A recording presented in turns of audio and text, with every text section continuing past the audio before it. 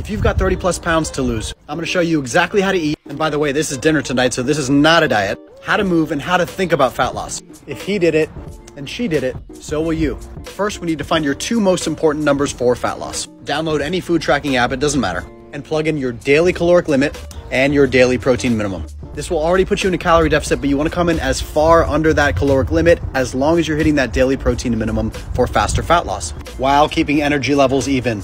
A day in the life of your future self starts with at least 20 ounces of water plus lemon plus a little bit of sea salt. A little while after that, some black coffee or some plain tea if you like, it's not mandatory. From there, we are skipping breakfast and we are fasting till lunch because intermittent fasting is the easiest framework for fat loss I've found in 24 years of doing this. You'll adjust in just a few days, and after that, you're simply not hungry. Not being hungry is a fat loss superpower. For lunch, we're going fat, fiber, and protein. We want high protein, low calorie, and something that will carry you easily to the next meal. If you need a snack, we're going something like a protein bar and an apple. Now, if you've done this right, no matter what your daily caloric limit, you have a ton of nutritional space to play with at dinner. So we're always going to feature protein. Today is shrimp, but you can have carbs, you can have wine, enjoy yourself. You hit your numbers, congratulations. The only way to make fat loss permanent is by taking the foods that you love, the behaviors you have, and having them work for you to get you to where you want to go rather than keeping you from getting there. It's got to be enjoyable. We need you strength training twice a week for at least 20 minutes to protect that muscle from being lost along with fat. Because if you lose muscle along with fat, it's going to crush your body's metabolic rate, making maintaining this fat loss impossible. Take more steps,